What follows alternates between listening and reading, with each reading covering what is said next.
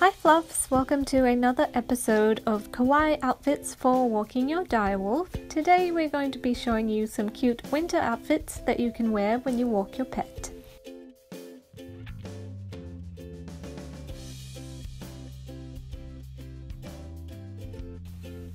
So for this first outfit, I'm wearing a beanie from Urban Outfitters. My blue coat is from Liz Lisa and I love the faux fur trim on the wrists and around the collar.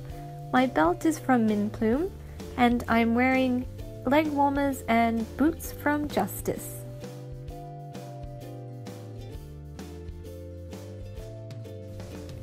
This next outfit is from Liz Lisa, so the cape, dress and boots are all from Liz Lisa and the stockings are from Chuchuana.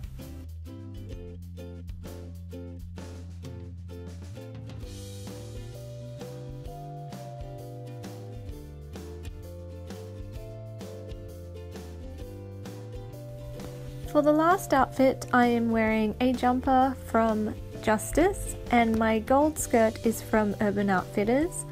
My boots are from Justice and they are snow boots so they're perfect for walking Danny in the cold.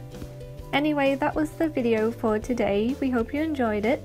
If you did, please give us a thumbs up and follow Danny on all his social media, which is linked in the down bar for you. And until next time, stay fluffy. Bye!